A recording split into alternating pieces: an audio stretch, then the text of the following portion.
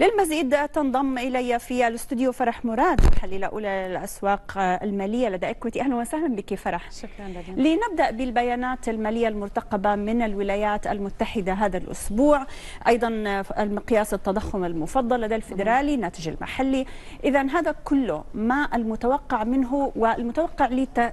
يعني هل سيتم تغيير مسار الفيدرالي بالنسبة للفائده خلال ما تبقى من العام؟ هلا لنكون صريحين بتصور من هلا لنهاية العام نوعا ما تغير كبير في سياسة الفدرالي قد يكون مش موجود، يعني التوقعات أو تكون تجي مثل ما عم نتوقع أو شوي مختلفة هذا السيناريو الأكثر ترجيحا، بدنا نتذكر نحن آه إذا بدنا نحكي عن ال PCE دائما كان عم يجي نوعا ما مثل التوقعات، هلا الناتج المحلي الإجمالي عم نتوقع يجي 2.8% اللي هو أقل من الهدف اللي عند 3%، بس بستبعد موجة هالبيانات قد تؤدي إلى تحركات عنيفة، أظن العام العامل الوحيد أو النقطة الوحيدة اللي معقول تعطينا مفاجآت معقول تحرك السوق بشكل كثير كبير. أستبعد نلاقي تحركات كبيرة بالتضخم أو بتوقعات النمو ولكن سوق العمل قد يكون هناك المفاجأة الأكبر في حال جاءت. عم نتوقع أنه كمان ما يكون في عندنا تغيرات كبيرة كثير من الشهر الماضي في مطالبات البطالة. في حال جاءت مثل التوقعات أستبعد يكون في عندنا تحركات عنيفة هذا الأسبوع خصوصي أنه قصير هذا الأسبوع في الولايات المتحدة. لازم نتذكر في عندنا Thanksgiving الخميس الجمعة نوعا ما التداول لفترة فتره زمنية أكثر. فأتوقع هل يمكن المعنويات الإيجابية بسبب كمان وجود بيسنت بال آه، إلى جانب ترامب قد تستمر في دعم معنويات السوق إلى نهاية هالأسبوع القصير؟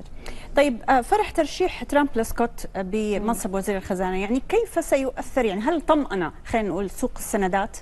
يعني اللي عم نشوفه بالوقت الحالي السوق بالعكس اعتبر شيء إيجابي اللي الأصول عالية المخاطر. ركز شوي على الجملة اللي سمعناها إنه رح كون أنا عم قلص يمكن التاكسز آه على الرغم من إنه كان عم بيقول أنا رح كون عم آه ركز كمان على سياسة دونالد ترامب في التارس أو في العلاقات مع الخارج وقد رح نكون عم نزيد عليها الضغوطات.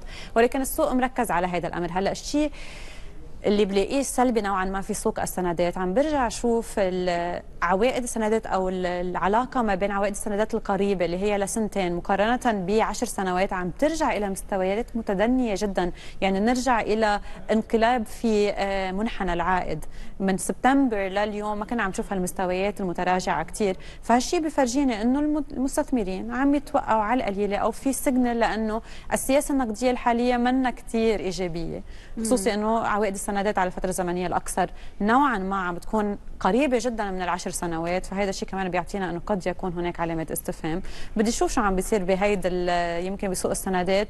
ما بلاقي إنه يمكن وجود أو الإعلان اللي صار كثير أثر عليه. عم شوف تراجع على الدولار عم نعم. شوف تراجع على الذهب. فالسيناريو اللي فيني اخذه إنه كان إيجابي لأسواق الأسهم بشكل رئيسي. طيب آه فرح بالنسبة للذهب. يعني رأينا تراجعات حادة اليوم عمليات جني أرباح على الذهب. ونلاحظ إنه لا يتحرك بمسار أو بعكس يعني تحركات الدولار ما المؤثر عليه بالفترة الحالية؟ وعم بيتاثر بتصور اثنيناتهم بنفس العوامل. يعني بدنا نتذكر نحن بغض النظر إنه عادة بيتحركوا بطريقة معاكسة الذهب والدولار ولكن كمان اثنيناتهم يعتبروا ملاذات آمنة.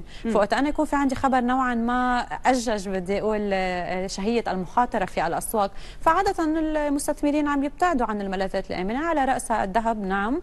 وكمان الدولار الأمريكي. ومش هيك عم نشوف اليوم اثنيناتهم على تراجع.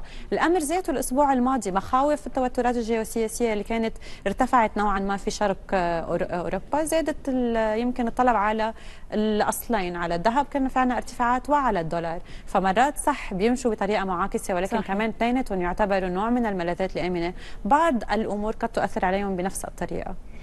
اذا فرح مراد محلله أولى للاسواق المالية لدى إكويتي. شكرا جزيلا لك. شكرا لك. ثانك يو